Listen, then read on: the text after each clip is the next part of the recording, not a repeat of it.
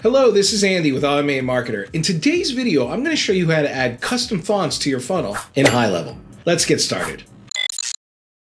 In this video, we'll be going over how to add a custom font into a funnel. So the first thing we got to work on is the actual funnel. So I'm going to just go into my funnel right here. I'm working on a book funnel template and I don't want to use the funnel that is already included. Believe it or not, even though there are tons and tons of different fonts, all the Google fonts you could think of inside of high level. In particular, there's sometimes a client will want to add a custom font. So we already have the custom font. The custom font is called Corino Sans, and we want to use that one instead of all the other fonts that Google provides for us. So it's actually not that hard of a thing to do. It seems like it's hard, but it's actually not too bad. The first thing that we need to do is we actually need to get the font file. Now, you can't just use a regular font file. You can't use the TTF font file. You need to use what's called the WOFF2 file. That's a different version, but a lot of times you can't find those online. So conveniently, we go to a site called Cloud Convert, cloudconvert.com, and they have this great converter that will take a TTF and turn it into a WOFF2. And all we gotta do is select the file and upload it. So first we would find the file for the client,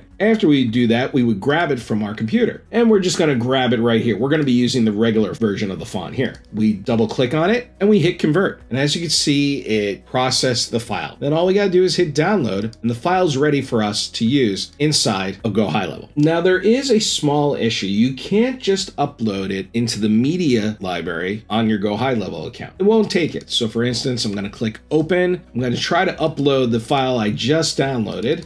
I get this file type not allowed, but there's a sneaky way to do it. And it's a little bit of a secret way of doing it. All you got to do is go into the membership area of your high level account.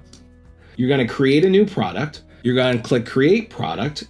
You're going to build your own and you're just going to call it my fonts. So it's almost a course just built out of fonts. You go to your first blank post over here.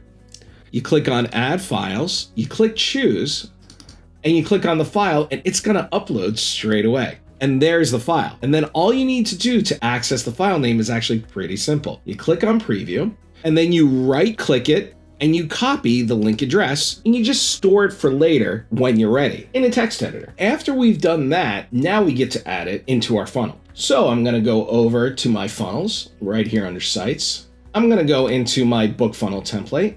I'm gonna edit the page. And then I'm gonna go up here and in the custom CSS, I'm gonna add a special code. Now I've already pre-prepared this one. I'm gonna leave a copy of this inside of the description for you to use later. But as you can see, I've already put in the link right here to the actual file inside of Go High Level and I've created some CSS code in order to use it. And like I said before, if you go in the description, it'll be right there for you to use. All right, so I just hit save. And now all I need to do to make this work on any text area is go to advanced and type in Corino. And as you can see, it changed it immediately and it's ready to go. It works every single time. So I'm just gonna go through that again. If I go to settings and I go into custom CSS, I have the name, the font family, Corino Sans. I have the link to the actual file, and then I have some CSS code to make it work. I have font family, Corino Sans, and important. I have the font weight, which is normal in this case because I'm using the normal font, and the font style is also normal. I would be using bold if it was bold. And then I have the Corino right here to use inside of it. And all I need to do, like I said before, is just choose a text area, go to advanced, and type in the name right here. And it immediately changes it. And it will automatically use things like italics. And that's all there is to it to add custom fonts into your Go High Level funnel. If you like this tutorial and you want to see more of it, just like and subscribe, and we'll see you in the next video.